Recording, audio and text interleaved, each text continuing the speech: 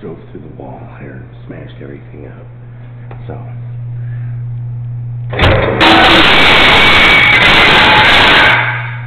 There we go. Takes all that unnecessary business.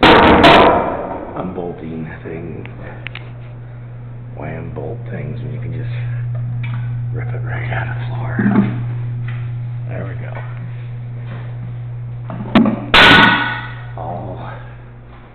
Done there now. Hmm. Okay.